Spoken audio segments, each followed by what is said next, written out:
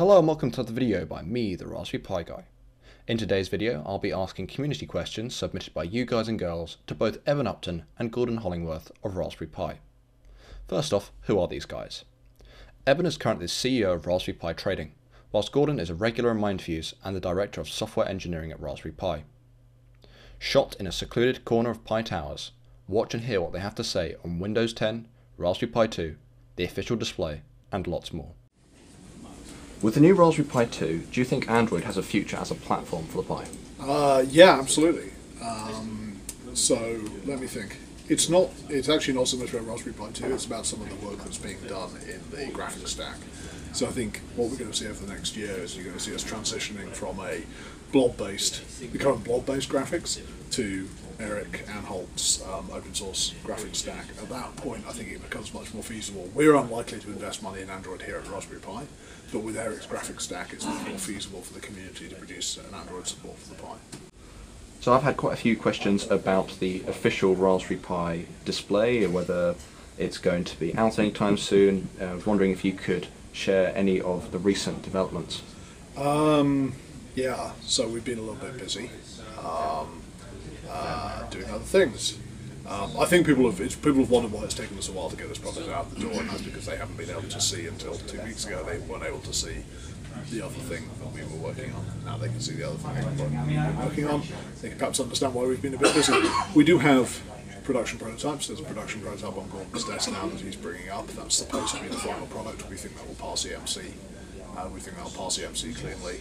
Um, if it does, well, we have a lot of inventory of the. I'm, I'm keen to get this project out the door because I have hundred thousand dollars of uh, um, module in, of of panel inventory sitting in uh, Sony's warehouse. Sony are keen to uh, get it out of the door because they have a bunch of pallets of uh, display panels clogging up space in their warehouse.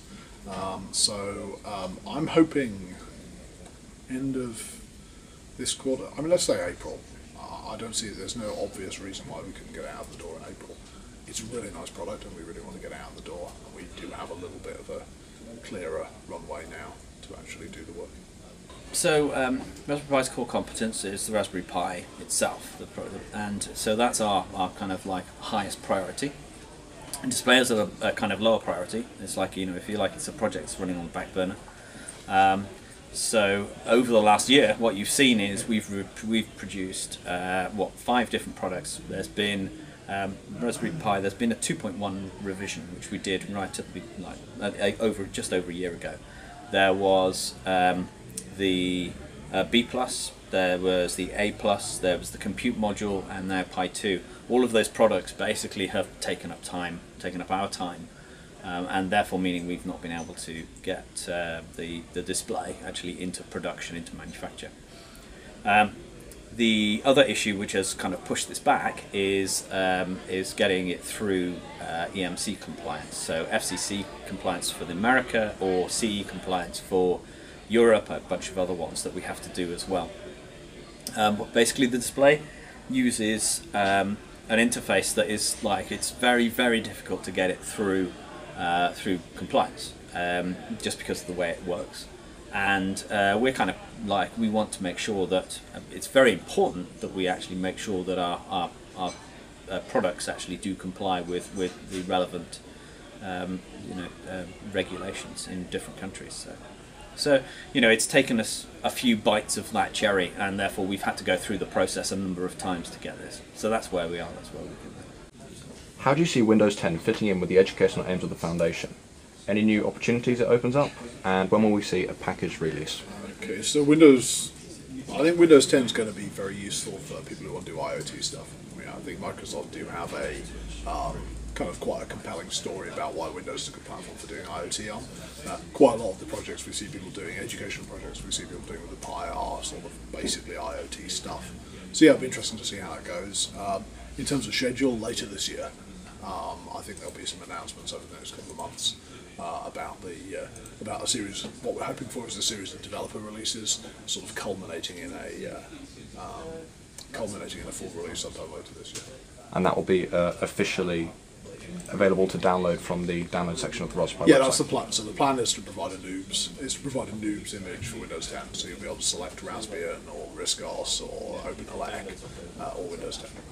So some people are wondering what the plans will be for the Compute Module 2. Obviously, we're going to do a compute module 2 at some point. Uh, it's not something we're going to do imminently. Um, yeah, right now we're kind of focused on getting. There's enormous demand for Raspberry Pi 2. Right, I mean they're going out the door at the most incredible rate. Um, and so right now we have some chip inventory, and we're going to spend that chip inventory on Raspberry Pi 2s. Um, we're going to make absolutely sure that everyone who wants a Raspberry Pi 2 can get one before we start looking at Compute Module 2.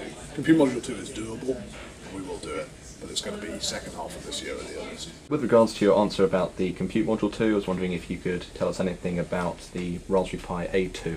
Uh, yeah, so so uh, astute readers will have noticed, uh, listeners, watchers will have noticed that uh, the new product is called the Raspberry Pi 2 Model B, sort of slightly cumbersome uh, name.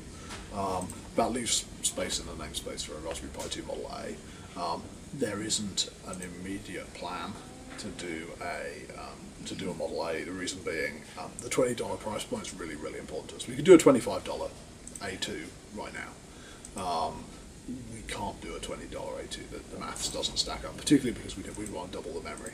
I don't think a quad core, 900 megahertz quad core machine with 256 meg of RAM really makes a lot of sense. Um, so we want to double the. It's it's a you know um, a couple of things that will make it more expensive. So we'd end up at 20 some dollars. So really, right now, we're going to stick with what we've got. It's nice to have you know I think a lot of the people who are buying Model A's don't need the extra memory or the extra processing power. Um, Model A Pluses don't need the extra memory or the extra processing power. So I think we're going to stick with what we've got. At some point in the future, it should become possible for us to offer a um, 512 meg um, quad core A plus probably next year. Thinking sometime in 2016. Uh, at which point, uh, know, we'll look at doing that. So some people wondering what's the current software roadmap for Raspberry Pi? Uh, okay, let me think. Um, guess the big theme this year is trying to um, be more standards based. Uh, we've got a number of people here working on uh, on stuff in that area. So we've got Ross Oldfield here is working on KMS support, so exposing the composition capabilities of the Raspberry Pi hardware through the KMS API. Uh, obviously, we have Eric at uh, Broadcom working on um, uh, Mesa Gallium OpenGL.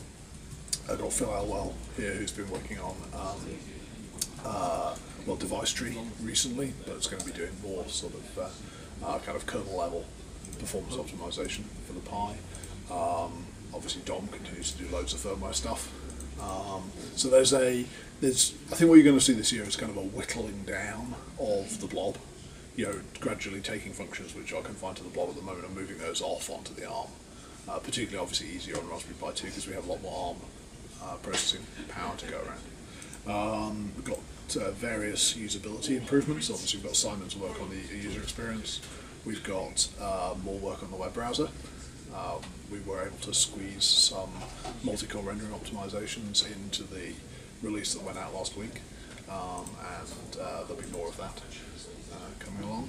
Uh, let's see what else. Um, audio quality improvements. Jonathan's got some nice audio quality improvements coming up um, and more scratch uh, and repeating quite a lot of the optimizations we did for ARM v6. Ben Avison, uh, one of our contractors, um, has done a lot of work optimizing uh, Pixman, Memcopy, um, various bits and pieces of, uh, of the Squeak Smalltalk VM uh, for uh, ARM v6. It's kind of going back, so he spent two years doing that. So a, we got a, uh, a bunch of ARM v6 code out, and B, what we got was a menu of all of the stuff that we need to do again for ARM v7, so Ben's going to go back and do that.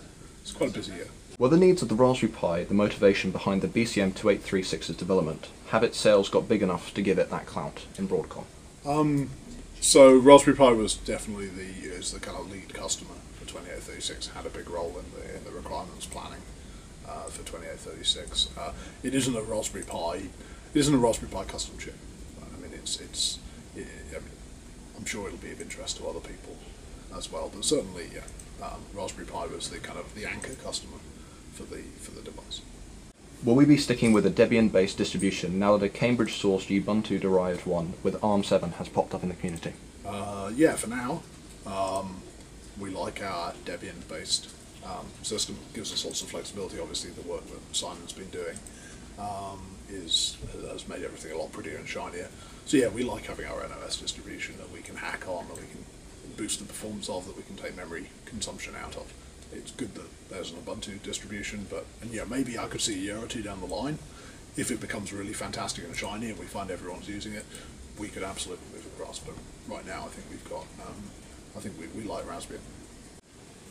As we know, other companies have been uh, unofficially duplicating the Pi's GPIO pinout to try and achieve compatibility, and unfortunately this has resulted in some ill feeling in the community. Some people think that it would be beneficial if the Raspberry Pi Foundation provided a Raspberry Pi compatible certification or something of that ilk, and uh, I've had a question that indicates that people would be interested to know the Foundation's thought on the matter. Um, so yeah, the GPIO expander is kind of funny. The GPIO connector is kind of funny because it's proof if you make enough of something, uh, it becomes a, it becomes a standard. We've seen particularly the 26 pin um, uh, footprint from from the uh, from the Model A and Model B. Um, we see that cropping up in all sorts of places. You know, there's an awful lot of boards with 26 pin connectors on. When you look closely, they feel a lot like the Raspberry Pi. Not just other small board computers, but also peripherals. I saw a know, quite a nice telecoms piece of hardware uh, last year uh, that had a 26 pin connector on. I said, "There's a pin out on that?" They're like, "Yeah, that's designed to connect to a designed to connect to a Raspberry Pi." In terms of whether we, I mean, in terms of whether there's ill feeling, I mean, I think it's kind of great that this kind of standard has has, has cropped up. Um, generally, I think when people use other SoCs and bring out a similar um, bring out a similar pin out. Um, the level of compatibility, it's a medium level of compatibility. You know, you end up having GPIO. It's almost like you know, the power pins are kind of in the right place. GPIOs are kind of in the right place. Um, some of the slow speed interfaces end up on kind of the right pins, but it's kind of a middling level of compatibility. So I, I guess um, there's absolutely no ill feeling. I, I'm not sure that we could offer a. I, I can't immediately think of a of a way that we could offer a meaningful stamp. Um, of, of Raspberry Pi compatibility uh, for that sort of thing. But, um, but yeah, be I'd be open to it if it was meaningful, but I suspect that given the differences between SoCs, I suspect it's not going to be meaningful. With the release of the Pi 2 and the Astro Pi competition, I was wondering if you could tell me, number one, what board will be going up, and also, number two, will it be staying on the International Space Station after Tim Peake returns? Uh, so the board that will be going up is a B plus. So we've been certifying, we've been doing a flight certification for the board for a lot longer than we've had Pi twos. So we're not suddenly swapping to a Pi two. We're going to stick with what we've got. Um, and yeah, it's going to stay up there after he comes down. Uh, and hopefully this isn't the last we've seen of Astro Pi. Uh, I think the hope is if this is a success, so please, if you're in the UK, get your get your submissions in for Astro Pi. If this is a success, then we'll um, we're hoping that ESA will try and replicate the uh, we'll try and replicate the activity in other um, member countries. In your opinion, what's the most exciting door the Raspberry Pi 2 now opens? Um, it's a PC. That's it. It's a PC. You know, Raspberry Pi 1 was a good PC insofar as it cost 35 bucks. Raspberry Pi 2, the Raspberry Pi 2 is a good PC. Yeah, it removes that caveat. So for me, I mean, it's really important because you know, we think providing access to cheap computers for people is a good thing. We also think if we can provide access to cheap computers to kids, kids are going to be more inclined to. Um, people, are, uh, kids are going to be more inclined to have this in their bedroom, and that means that they're going to be more likely to be exposed to um, programming. And sadly, that was all I had time for. Stay tuned in the future for more interviews with important people in the field of Raspberry Pi. Don't forget to like, subscribe, and share. And until next time, bye.